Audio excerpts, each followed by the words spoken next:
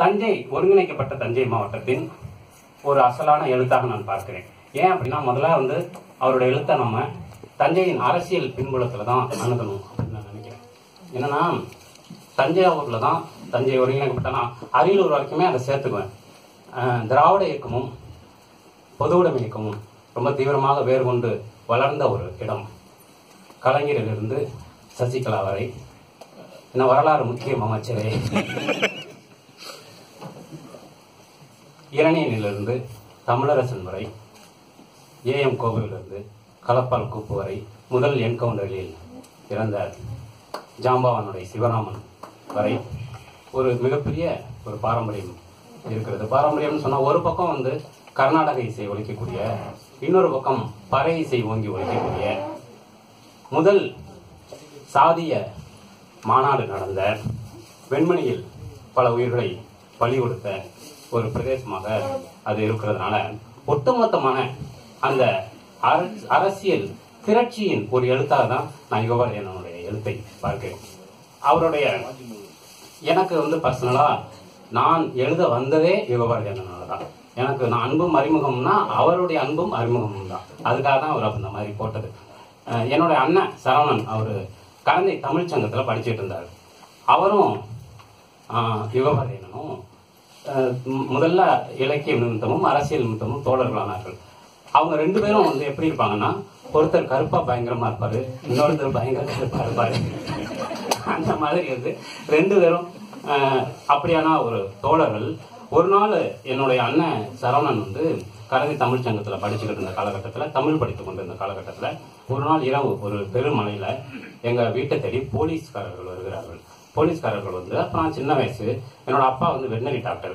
அப்போது இரவு நேரத்தில் போலீஸ்காரங்க வந்து உங்கள் பையன் எங்க அண்ணன் வந்து அங்கே செத்தி வீட்டில் தங்கி படிச்சுட்டு இருந்தாரு. உங்கள் பையனுக்கு உங்கள் பையனை அரெஸ்ட் பண்ணி வச்சுருக்கோம். நீங்கள் வாங்க அப்படின்னு சொல்லி இரவு நேரத்தில் வந்து கூப்பிடுறாங்க. ஒரு நைட்டு ரெண்டு மணி மூணு மணி. இப்போ அம்மா அப்பா ரொம்ப பயந்து போய் என்னன்னா எங்கள் அப்பா உடனே கிளம்பி போகிறாரு போனால் எங்கள் அம்- அப்பா ஒரு வாரம் வீடு திரும்பவே இல்லை. என்ன அப்படின்னா எனக்கு சின்ன வயசுங்கிறதுனால பல தகவல்கள் நமக்கு தெரியாது. அப்புறம் தெரிந்த பிறகு என்ன அப்படின்னா உங்க பையனுக்கு நக்சலைட்டுகளோட தொடர்பு இருக்கு. அப்படிங்கிறதுனால அழைச்சிட்டு போய் ஜெயில திருச்சியில வச்சு ஒரு வாரம் தெரிந்த டிஎஸ்பி எஸ்பி அப்படிலாம் பேசி அவர் வெளியில கொண்டு வந்தோம். என்ன விஷயம் அப்படின்னா அண்ணனும் யுவபாரதியனும் சேர்ந்து தொடர்ந்து நிறைய அரசியல் கூட்டங்கள்ல கவியரங்கங்கள்ல பேசுவது. அதுதான் அவர்களுடைய முழு நேர வேலை. அப்படியான ஒரு அது உங்களுக்கு அதான் கவிதா பாரதியன் சொன்ன மாதிரி எப்பவுமே இடதுசாரி இயக்க ஆட்கள் வந்து முதலில் கொடுக்கக்கூடிய நூல்களும் வளர்க்கக்கூடிய அறிவும் தேநீர் கடையிலிருந்து தான் ஆரம்பிக்கும். ஒரு டீயும் ஒரு புத்தகமும் அவர்களுடைய வாழ்க்கையை வந்து தீர்மானிக்கக்கூடிய ஒரு இடத்தில் அவர்கள் இருப்பார்கள். அந்த மாதிரியான ஒரு சூழல்ல அண்ணன் வந்து அண்ணனும் இவரும் சேர்ந்து பேசக்கூடிய கூட்டங்களை தொடர்ந்து கவனித்துக் கொண்டிருந்த ஒருவர் ஒரு கூட்டம் முடிந்த பிறகு அண்ணன்ட்ட வந்து அவருடைய அட்ரஸ் முகவரி எங்க சித்தியோட வீட்டா முகவரியை வாங்கிட்டு வாங்கி பாக்கெட்ல வச்சுக்கிட்டு அவர் நேரா ஒரு வங்கி கொள்ளைக்கு போயிருக்காரு.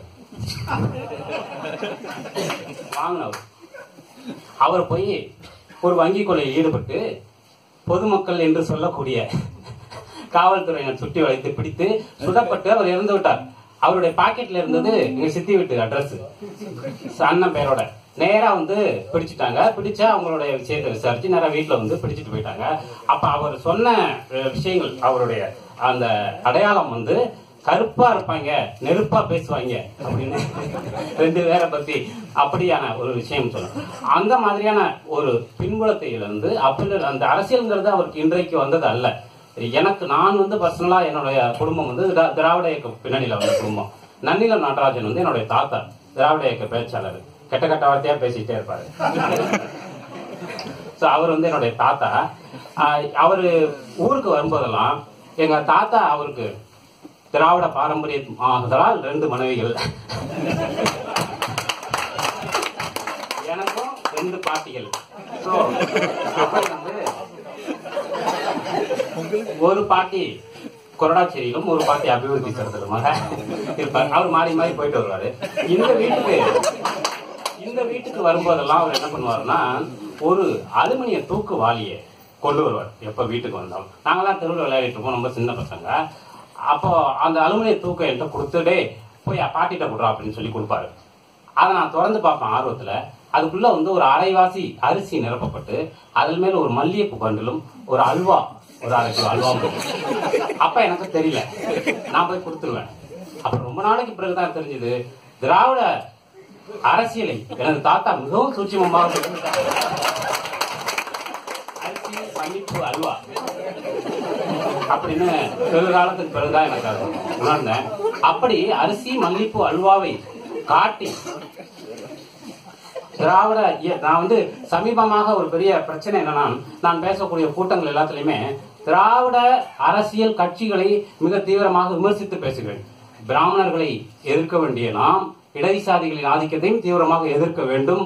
அதே போல தேசிய கட்சிகளின் ஆதிக்கத்தை எதிர்க்கிற கார்ப்பரேட் அரசியலை எதிர்க்கிற நாம் அதே வேகத்தோடு திராவிட கட்சிகளின் மற்ற விஷயங்கள் எல்லாவற்றையுமே எதிர்க்க வேண்டும். ஒவ்வொரு மாவட்டத்திலும் திராவிட கட்சியை சேர்ந்தவர்கள் தான் மணல் அழுகிறார்கள் அப்படின்னு நான் சொல்றதை எப்படி தவறாக புரிந்து கொள்கிறார்கள் என்றால் திராவிட இயக்கத்தை நான் சொல்றேன் அப்படின்னு சொல்லிட்டு. திராவிட இயக்கமும் சுயமரியாதையும் இருக்கோம்னா நாங்க இந்த மேடையில இருந்திருக்க மாட்டோம். சோ அந்த நன்றி கடன் எல்லாம் இருக்கிறது. நாங்கள் சொல்லு நேரடியா திமுக அதிமுக தான் சொல்றோம். வேற ஒன்றும் இல்லை. இயக்கத்தில் இருக்கக்கூடிய தவறான நபர்களை சொல்றோம். அதனால ஒட்டுமொத்தமாக இன்றைக்கு திமுகவும் அதிமுகவும் சேர்த்துதான் இந்த நாட்டை வந்து புகழ் போட்டு வித்துக்கிட்டு இருக்கு. அதெல்லாம் நம்ம நேரடியா பேச வேண்டிய விஷயம். அதுல என்ன தயக்கம் இருக்கு? அதனால என்ன இருக்கு? அதெல்லாம் ஒன்றும் கிடையாது. ஸோ அப்படி அந்த அரசியலை திராவிட இயக்க அரசியலை வந்து சொல்லிக் கொடுத்த நேரத்தில் நான் யுகபாரதி அண்ணன் வீட்டுக்கு போகும்போது அரிசி அல்வா மல்லிப்பூ என்ற தளத்திலிருந்து அவர் வீட்டில் ஒரு வெத்தலை பெட்டி ஒரு சேப்பு துண்டு மூலதனம் புத்தகம் என்ற ஒரு தளத்திற்கு என்னை எடுத்து சென்றது வந்து அவருடைய வீடு தான் உண்மையிலேயே வந்து ஒரு பொதுவுடைமை இயக்கத்தின் அரசியலை வந்து எனக்கு கற்றுக் கொடுத்தது என்பது வந்து அவருடைய வீடு வீடுதான். அந்த காலகட்டத்தில் வந்து இந்த இயேசு ஒரு ஒரு கவிதை அவர் எழுதியிருந்தாரு. புரட்சி வருகிறது புரட்சி வருகிறது என்று சொல்கிறார்கள். அப்படின்னு ஒரு கவிதை ஆரம்பிச்சு முடியும் போது இதே நம்பிக்கையோடு தான் இருக்கிறார் எதிர் வீட்டில் இருக்கக்கூடிய ஒருவர். இயேசு வருகிறார் இயேசு வருகிறார் என்று அப்படின்னு சொல்லி ஒரு கவிதை ஒன்று முடியும். அந்த கவிதை வந்து மிக தீவிரமாக பொதுவுடைமை சித்தாந்தத்தின் மீது அந்த காலத்தில் வைக்கப்பட்ட ஒரு விமர்சனம். அந்த கவிதை குறித்து மிக தீவிரமாக அது வந்த காலகட்டத்திலே அப்ப வந்து யுகபாரதி வந்து ரொம்ப இளைஞன் நான் சிறுவன் அந்த மாதிரியான ஒரு காலகட்டத்தில் அந்த கவிதை குறித்து மிக தீவிரமான விமர்சனங்கள் வந்து பொது இயக்க, சார்பில் காலத்தில் ரொம்ப தீவிரமாக நடந்துச்சு. இப்போ அவங்க அப்பா வந்து பொதுவுடைமை அது நீங்கள் இப்படி இதை கொச்சைப்படுத்தி அது கொச்சைப்படுத்துவது அல்ல அது வந்து ஒரு விமர்சனம். இப்போதும் அந்த விமர்சனம் தான் இன்றைக்கு அவர் வந்து வெவ்வேறு தளங்களில் அடுத்தடுத்த நகர்வுகளுக்கு அரசியல் விமர்சனங்களை செய்யக்கூடிய இதுக்கு வந்து கொண்டு வந்திருக்கு அப்படின்னு நினைக்கிறேன். எதையும் கண்ணை மூடிக்கொண்டு நம்பாமல் சந்தேகி என்கிற ஒரு விஷயத்தை வந்து அவர் தொடர்ந்து வந்து எடுத்து வந்திருக்கிறதுக்கு விதையாக அதுதான் இருந்து சொன்னேன்.